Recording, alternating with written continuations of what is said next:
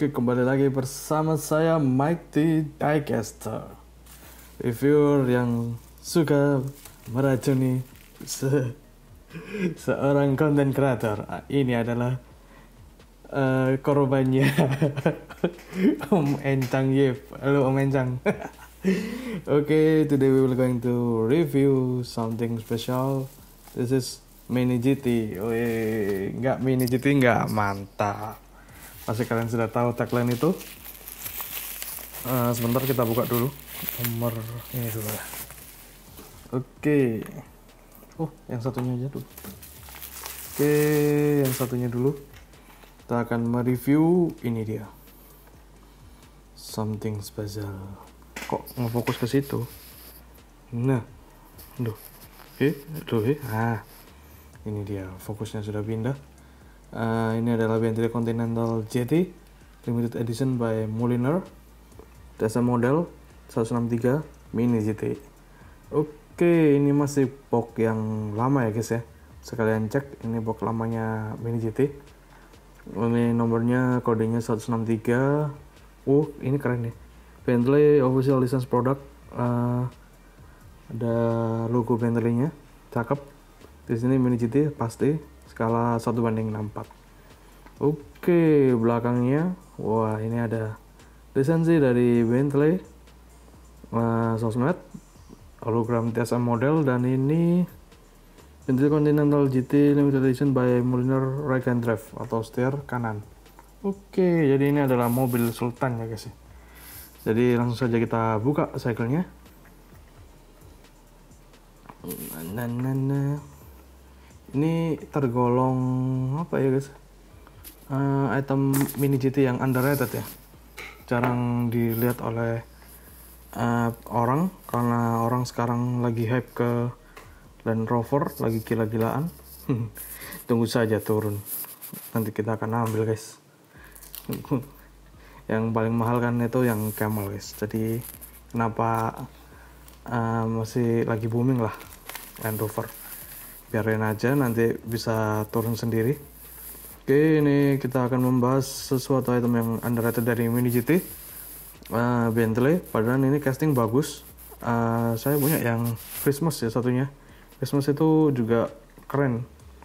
Cuman dia tuh uh, tampunya rame banget guys. Dan cuman dikhususin khusus uh, alah dikhususin buat uh, event Merry Christmas gitu dia cocok buat gift. Oke, okay, ada yang pamer mini GT. Oke, okay, kita open ini dia pokoknya seperti biasanya mini GT.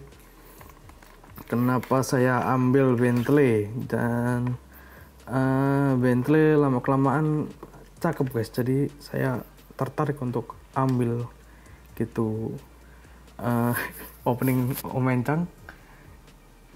Oke, jadi uh, Bentley ini apa ya? Ya underrated loh meskipun murah tapi castingannya itu bagus dia guys. Nah ini dia mobilnya. Bisa kalian cek. Uh, elegan elegan banget ya uh, dari mobil ini. Oke okay, oke okay, oke okay, oke. Ini adalah ada logo Pikes Peak atau dari uh, rally ya? Oh ini ada bukan suspensi sih emang agak loose aja itu. Jadi bisa agak ke atas ke bawah gitu dan ini ada logo Bentley di sini. Di ini. Nah itu. Di apa di tengah-tengah velgnya ada logo B. Nggak seberapa kelihatan. Oke. Ini warnanya hijau hijau jambu eh bukan jambu ya hmm, hijau mangga ya mangga yang terang banget gitu hijau hijau muda dan ini ada detail dari door handle kalian cek. Ada detail door handle terus ini spionnya. Oke spionnya nilai plus ya karena dia uh, dicat berwarna hitam. Jadi dia agak keras guys. Nggak kayak uh, karet yang tidak dicat pada mini GT kan biasanya dia letoy banget gitu oke di sini ada logo Pax. Tadi udah saya apa namanya singgung. Nah di sini kayak semacam gunung gitu. Di sini ada detail hitam. Keren ya detailnya ya. Cakep. Warnanya hijau. Kursi interior cuman dua depan. Tuh bukannya ini oh ini versi rally ya guys ya? Kayak semacam rally gitu guys jadi dia cuman dua. Biasanya Bentley kan Bentley dua apa empat sih? Yang tahu silahkan komen ya guys ya. Oke kita lihat belakangnya blue belakangnya sadis. Oke ada logo Bentley pasti di tengah. Sekalian cek. Ini dari tampak atasnya. Tampak atasnya wow, wow, wow hitam. Dual tone hitam. Setir kanan ini setirnya di kanan. Oke kita cek belakangnya oke belakangnya seperti ini. Lampu belakang ada dua kiri kanan. Cuman ini gelap banget ya guys lampu belakangnya ya. Lampu, lampu belakangnya dia gelap. Kiri kanannya merah merah merah apa ya? Merah tua banget gitu. Plat nomornya 21 WD ini. Bisa kalian lihat ada warna kuning cakep.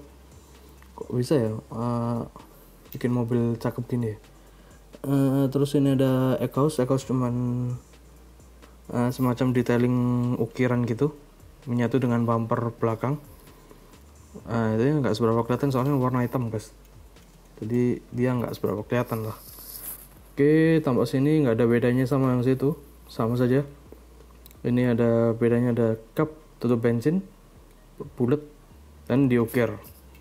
Diukir ya guys. Oke, bisa di uh, sisi sebelah sini. Sebentar, kok nggak fokus? Oke, kita ke sisi depan. Ini ada hood. Dia nggak cuma rata guys, ada detailing lagi uh, di tengahnya gitu agak menonjol terus ini ada logo Bentley di tengahnya lampunya Mika ya guys ya seperti biasa mini GT terus tengahnya 100 ada ukuran 100 gitu itu dari pack specsnya 100 gitu guys tulisannya terus grillnya bisa kalian cek ada pori-porinya detail gitu keren yang bawah juga ada dan ada uh, semacam kombinasi warna hitam ini juga uh, ada lampu mikanya kiri kanan Oke, garapannya rapi banget emang Bentley ya guys ya. Gak tahu kenapa. Uh, jarang ada yang apa defect di Bentley ya karena yang beli juga jarang. Oke, kita lihat bawahnya Mini GT made in China. Ada ukirannya. Oh ini ya ekosnya. Sebentar, ekosnya maksudnya ke mana ini? Oke, ekosnya nggak jelas. Oh ekosnya pasti masuk sini sih. Atau sendiri ya dia. Bentar. masuk sini sih benernya ya masuk sini sih atau sendiri ya kayaknya sendiri uh, terus bautnya ada dua tempat belakang. Depannya karet bisa rolling. Oke okay, I don't know why kenapa harus bisa rolling. Ada uh, kolektor yang suka rolling guys. Jadi kita harus kasih informasi itu. Kalau mini GT bisa rolling. Oke okay, ini dia. Ini adalah benernya mobil hmm, semacam mobil rally ya kayaknya. Atau balapan rally gitu. Uh, dia memakai mobil ini. Atau yang satunya yang versi ada lampunya nanti saya review juga uh, setelah video ini atau setelah Inu oke okay? dan thank you for watching and see you on next video bye bye guys yeah stand down for the best now take my time you better pay up in the next style throw a rollie with a iced out turnstile I see the time's out. Get my burst out. Fucking time's out.